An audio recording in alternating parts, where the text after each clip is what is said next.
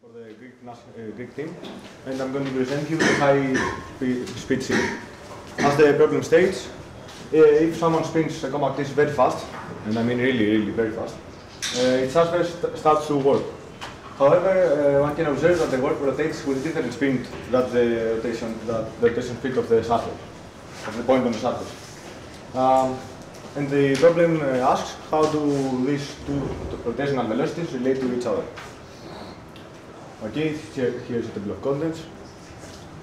Okay, what we actually, what, what we actually did. Uh, we used uh, the theory of elasticity to predict what would be the, the surface, uh, what would be the motion of the surface in high speed, in high speed uh, rotational speed of the CD. Uh, in that way, we found the, equation, the equations of the deformation of the CD, and uh, we try to, co- to connect the rotational speed of the CD with the speed of the um, with the um, um, deformation on the with the warp on the surface of the CD. Okay, okay uh, some assumptions first. We assume that our CD is a 2D surface um, on the Higgs plane, XY plane, and that the CD is uh, isotropic and homogeneous, like all elasticity. Uh, the angular velocity uh, is omega. Uh, with bolt, I we, we used bolt to show the vectors and uh, regular letters to show the components of the vectors. And uh, we uh, we assume that the displacement vector is of the form on the it has a displacement on the r um, component in cylindrical um, coordinates and uh, z. I mean uh, that's kind of um, intuitive. I mean it can't really have a displacement on the theta uh, component uh, because uh, of axisymmetrical symmetry. Okay, this is the field equations of uh, for, elas uh, for elasticity. It's a generalized uh, Newton equation, it's an Lamé, and uh, lambda, and uh, call that me. I think it's a universal. Yeah, uh, but I think it's universal. Um, are Lamé's constant, and the, the delta is the current case, current Kronecker delta, where rho is the density of the CD. Okay, this equation we do the form ex- expression for our uh, problem. And- ah, okay. Now, to the previous equations, we can actually um, solve them analytically. Uh, the solutions are of this kind. Uh, with, uh, with J, I represent the Bessel of order 1. Um, sorry, is a typo here. The square root is the r is not into the square root. I'm sorry for that. In both expressions. Um, okay, and jk is the Bessel of uh, k order. Um, and okay, the others I think. Okay. Okay. Now, uh, to really solve this problem, we must uh, put some boundary conditions. And uh, one, of, uh, one set of them is that RCD, and in the video, but uh, both in how it is the problem represented, is um, connected to a road. I mean, it uh, rotates around the road. So, in the, and of course, the CD has a hole in the center. So, in the radius of the, of the hole, uh, the displacement vectors, the displacement vector, the components of the displacement vector should be zero. It, we can have a displacement there, uh, we can have a displacement there, uh, because the road doesn't um make the CD have no displacement on this area. So, um, yeah. Uh, using this um, um, boundary conditions, and especially second one, we come to next slide. Okay, uh, from the equation 8, which is a boundary condition for the z component of the displacement vector, which, if you remember, we called it w. Uh, I showed W. okay, go one back. W, that is the, uh, the z the zeta component uh, of the displacement vector. We obtain that. Uh, I can show you that. Um, and this is a Bessel uh, Forder 3. Oh, if you see here it's right, the typo. typo. Uh, we obtained uh, this Bessel and we said that uh, this Bessel should be zero and we used the first zero of the Bessel function for uh, r equals r inside. R in is r inside is the radius of the hole of the CD. Um, I don't know if you know it, but uh, the first zero is about 6.38.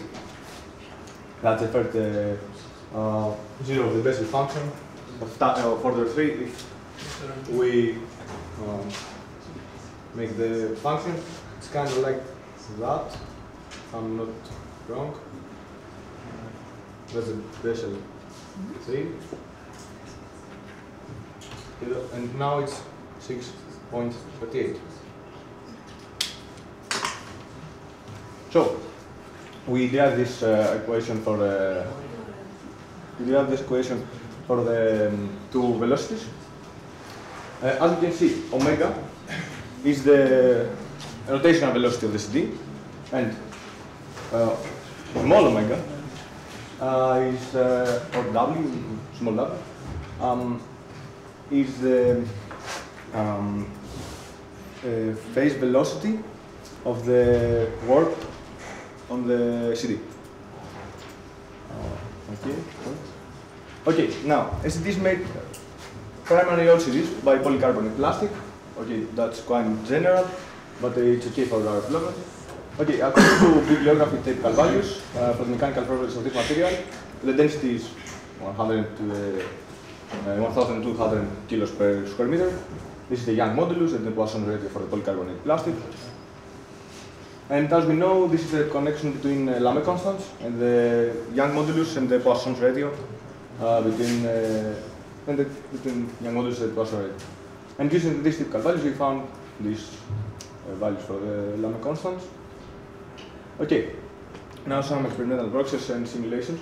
Uh, we use uh, Mathematica to simulate uh, the rotation of the CD. What we actually do, did is that we used the analytical uh, values, uh, the analytical solutions we found for the displacement uh, equations, and we put it on Mathematica. And that's actually we had that's the simulation Mathematica gave. Actually, it was a, a, a, a GIF video, you know, did, but uh, we had some problem with the laptop, so I put some uh, pictures of it in. okay, uh, something more that we do, uh, it's not actually a problem, it's not a question of the problem, is that with the solutions we found, we actually not predict, but show that also the solutions will become um, exponentially grow. So a CD really can uh, break if we, uh, um, if we um, grow the, uh, the velocity, the rotation velocity really uh, big, we make it really big. Next slide. Okay, that's uh, one picture of the simulation and try to uh, give a profile of it so we can actually see that the simulation is really good approximation of what we see from the video of the problem and the, the reality, at least to me. That's another picture of this breaking. Okay, some results and conclusions. Uh, the, the, question of the problem was to, to relate the velocity of the elastic wave and the rotational velocity of the CD. We, I think we showed, uh, we did that, and uh, with that relation, uh, I again state that omega, big omega, is uh, the rotational speed of the CD, and small omega is the phase velocity actually of the warp of the CD. Um, and we ran a simulation. We saw that uh, with that uh, with these solutions, we saw that uh, it's close to what we see in the video. And, uh, okay, some reasons. Okay, that's it. Thank you.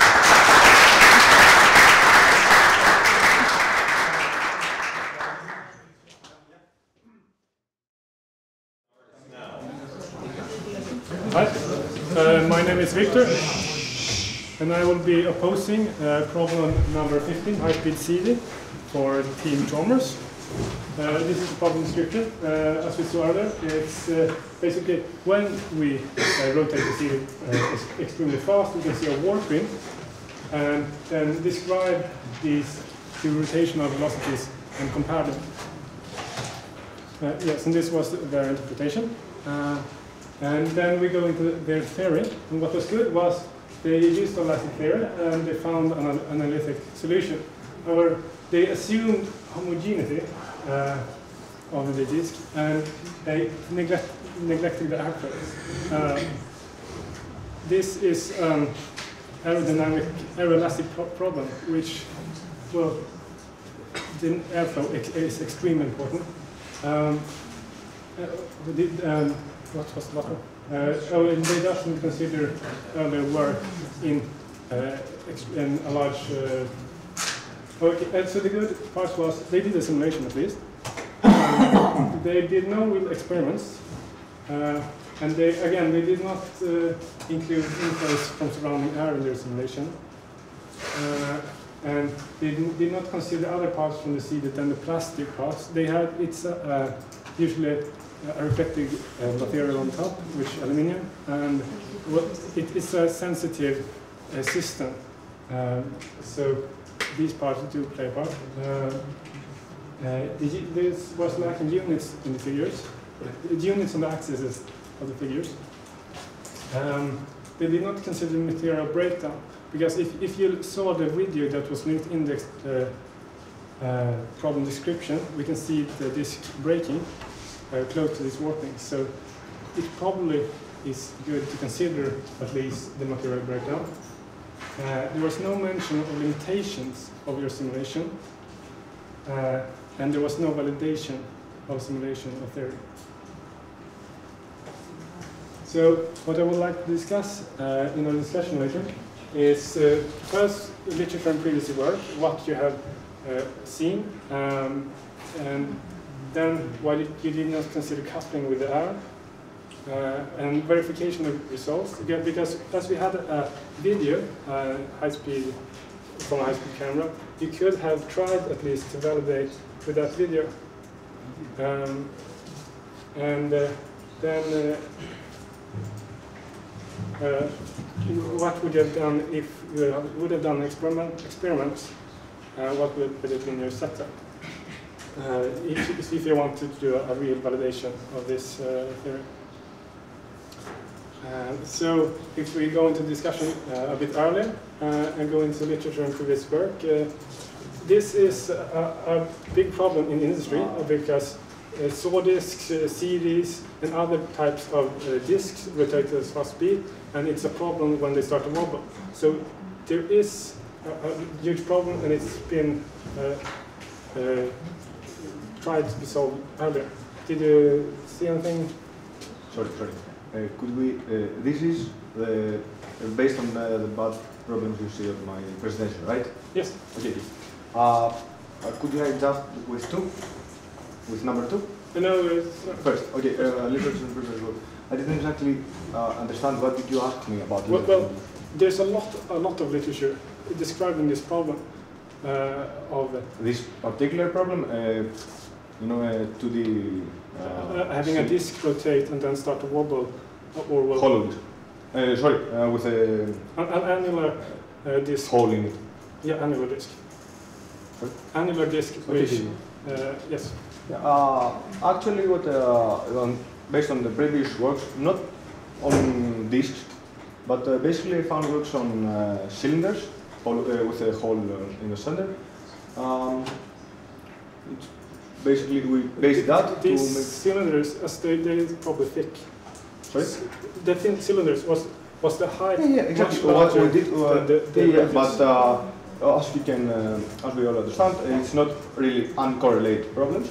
Uh, we, what I, actually we can do is uh, to use the same techniques, but in a 2D, uh, in a 2D system to reproduce. Uh, this uh, does the cylinder wobble in the same way if it's thick as if you have a thin CD?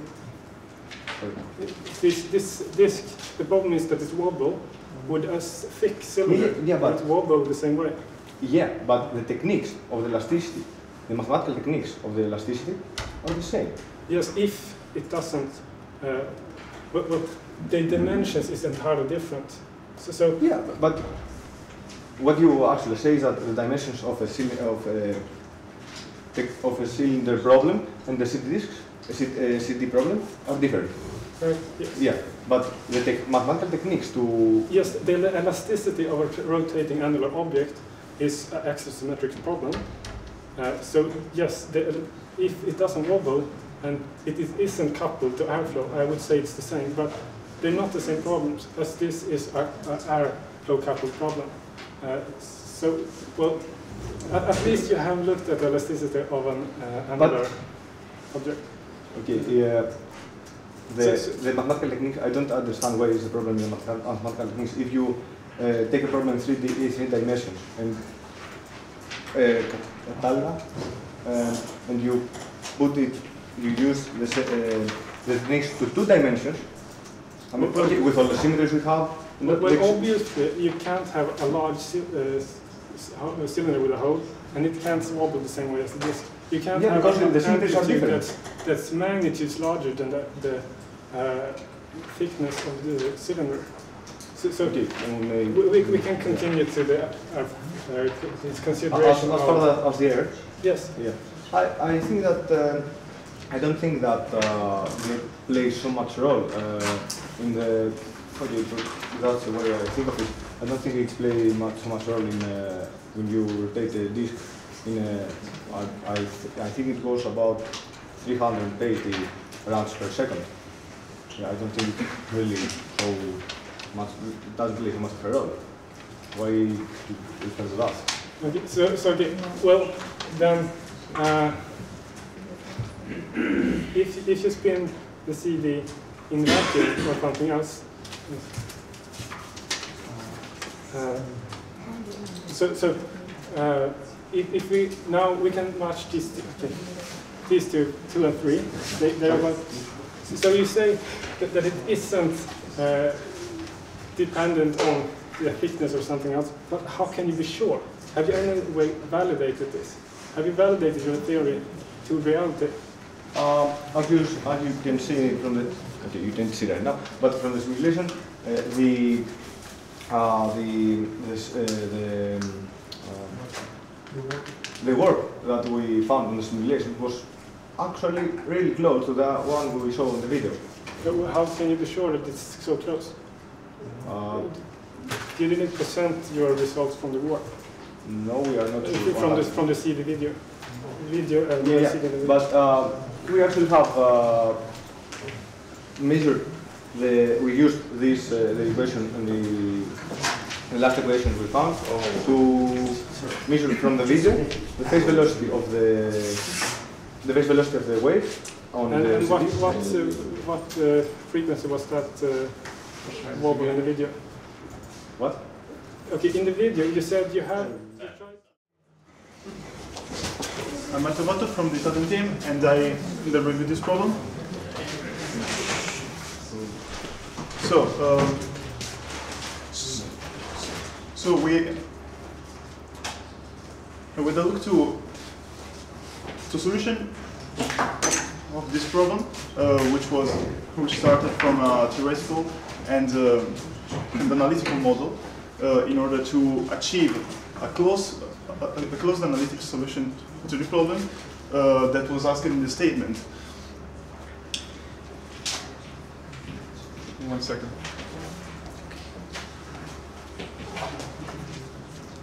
Okay. Um, it was used uh, the linear elasticity theory with uh, with some hypothesis that was um, the homogeneity and the and the, and the isotropic surface, so it was a 2D problem. Uh, it was uh, also proposed a condition to see uh, the breaking of the CD, uh, and then it was it was shown a simulation of, of this dynamics in order uh, to um, to see if uh, if the theoretical model uh, was a was a good approximation of the reality. Then we have we had a look to Levanti.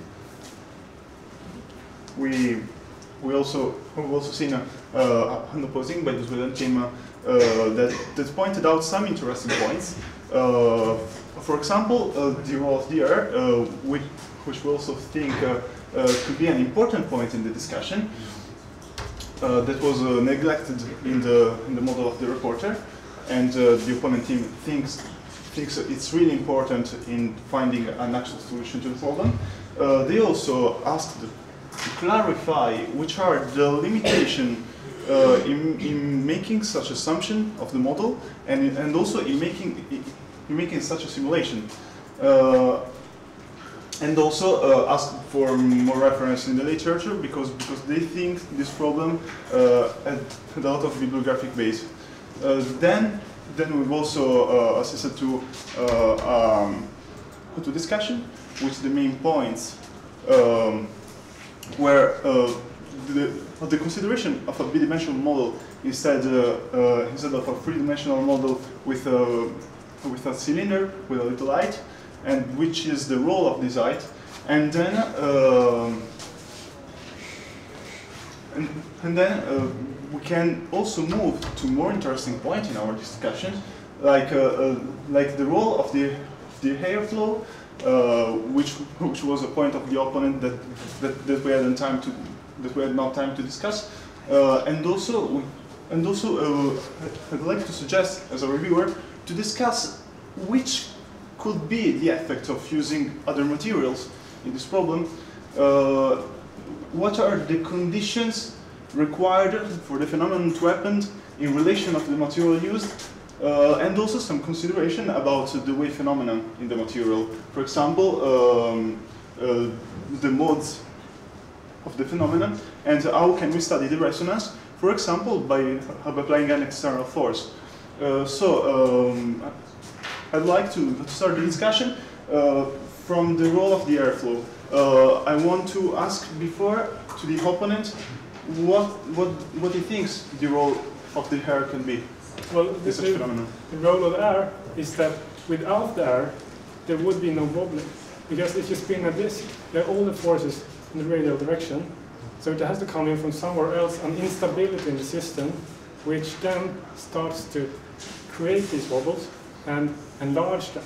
Because if you only look at the forces without any instabilities or uh, airflow, uh, uh, any, any, if the airflow doesn't come in, then why does this wobble start? Okay, uh, I, I would like to add the opinion of the reporter on this point. Uh, okay, um, I, I think that uh, the air doesn't play really a role. I mean, uh, a CD can produce in not only CD, not only a CD, every, uh, even a cylinder or uh, Well, but yeah, yeah, but uh, to, the, uh, to the uh, to, to the surface can produce such waves, uh, such waves from, from the basis of elast from the elasticity. could I ask in, in your simulation, what did you put in to, start, to make the wobble start in your simulation? Why did you have wobble in your simulation? Yeah, the, What, what did, did I? Because in your simulation we can Yeah. see the, the warping. yeah, uh, Uh, because we, what did we do in the simulation? What we did in the simulation was to um, plot actually the the solutions we found. The, so- the solutions we found with. Um, if you notice, it was um, Bessel uh, um, on the way actually a uh, uh, in the way. Um, and we plotted on a 2D surface of a radius uh, of ra an outer and inner radius. Okay, I'm sorry, but time is running. I think uh, its point was more on uh, uh, is is was your simulation time dependent uh, and Yeah, yeah, yeah. This started from a uh, from an initial conditions that was uh, that was uh, completely linear with with zero displacement. And how does the wobble start in the simulation? What, what does make him start? Okay, I see. Uh, in the simulations, we plotted the solutions we found. So- So, the- and, So the so, so it, it wasn't a time dependent simulation. uh, could you show the, the solutions? It was a time-dependent simulation, but it was it wasn't start from um, it was actually this plotting on a 2D surface. Oh, as you see, this is time dependent.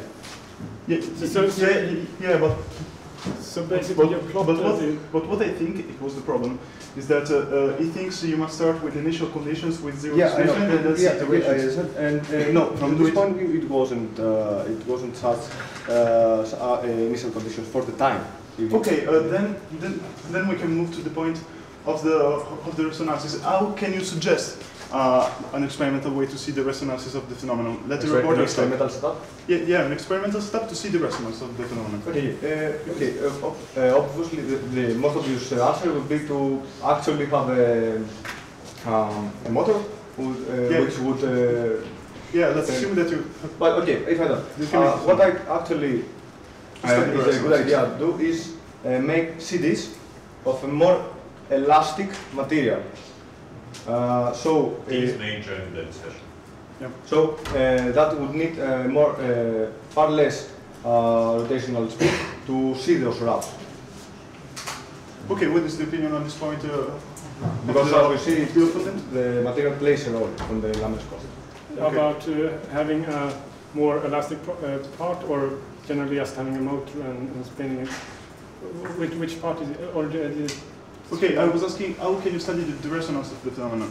well, obviously we Uh, want to spin be short, be short because because there are two. So, so we, we spin it fast, and then we measure either we measure the amplitude with uh, a laser, and then uh, uh, we measure the difference in uh, the reflection's position, or you have a high-speed camera, or you measure the reflection of. Okay, okay. So Uh, so just try to see the phenomenon. One sec, one sec. There is a question from the team. Uh, uh, If I remember correctly, uh, you mentioned that when you do not have air and you have an uh, elastic material, Yes. the only forces can be, uh, only, um, uh, only force can be acted radially and It- and not on the, on the Without other plane? without instabilities, then if you have something spinning. Then the centripetal force goes radially. Yes, but also you have the tensorial forces because of the elasticity of the CD, which uh, if the CD is more hard to go upward, the energy from the spinning will deform it on the z-axis. Well, It's not the perturbation of the air, it's the property of the material. But the, the, the forces will go inwards unless you have something to start the, Yeah. the It's a displacement. continuum, it's not the point. You have all the forces acting at the same time on the plane. Okay, so I- I- Well, the forces in the disk is either radial or uh, they are circular.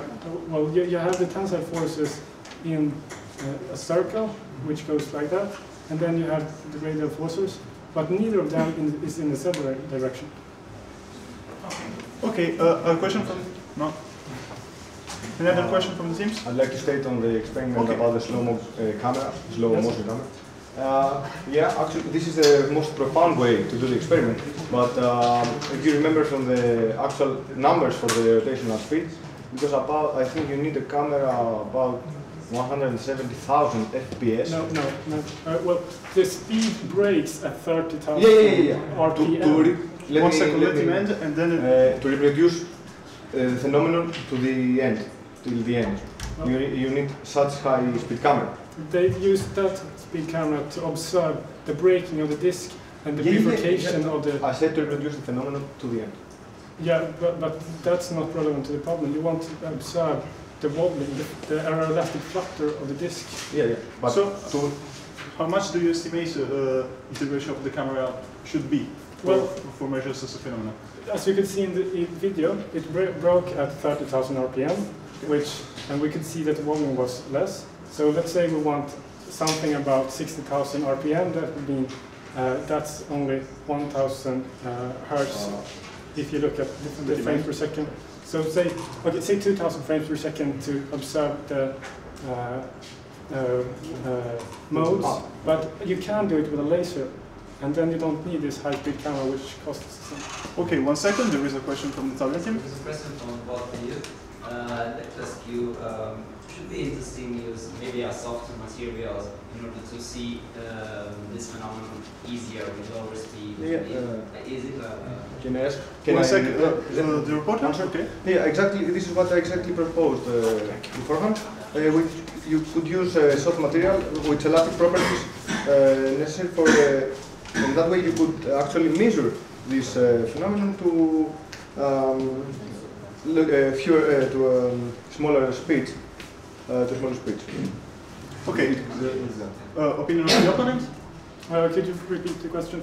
Uh, Yes, sorry. if uh, to be useful in order to solve the phenomenon, use a softer material instead of the plastic of the CD. Oh yes, because the CD is somewhat problematic as it breaks shortly after this effect occurs.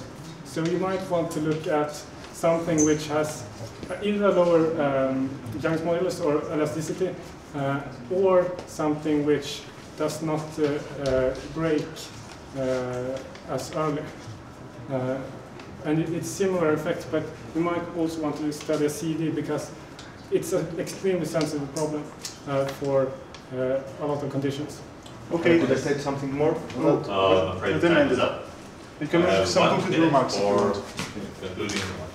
Okay, uh, thank you all for your uh, responses and the opponent and the viewer. Uh, what we actually did in this problem was to study mathematically the wave phenomena that uh, happen on a high-speed rotational CD. Uh, what we think we tried to do was to uh, reproduce, to find the analytical solutions to this problem, to reproduce this problem with some simulations. We have some disagreement on that. Uh, the opponent, the, the viewer, had uh, really good uh, insight from. They uh, good, uh, made good uh, contributions to the discussion, and I think that's all. Thank you all for your attention. Thank you.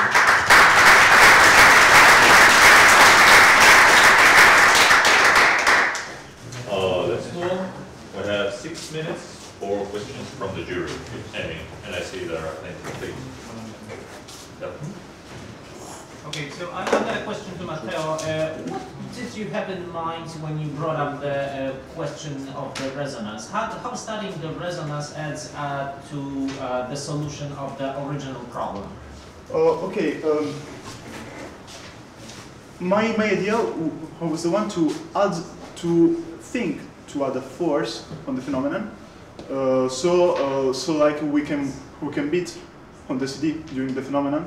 Uh, we can use a softer material in order to not having breaking problems, and, and then we can see uh, if um, if these waves propagating on the disks uh, are are dependent uh, of, on some characteristic of the different material used, and that's something that that we tried in order to find dependence of uh, of such of such waves propagating on the material uh, and and the and the velocity of uh, of these waves propagating.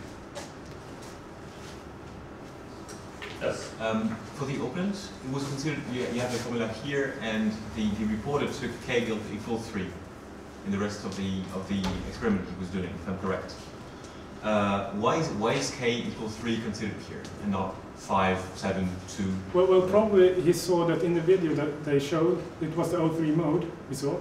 Uh, and in fact, all the literature I've seen, uh, experimentally at least, they've seen that the one that occurs um, mostly is the O3 mode. So I think he was right in using O- O3 mode. I don't think he, he motivated us. Okay. Should I ask the same question? Yes. Okay, thank you for that question. Um, you, uh, I don't remember if, you, if it was you uh, or the other guy, but uh, in, at the start of the, of the opponent question, they asked me for the other boundary condition.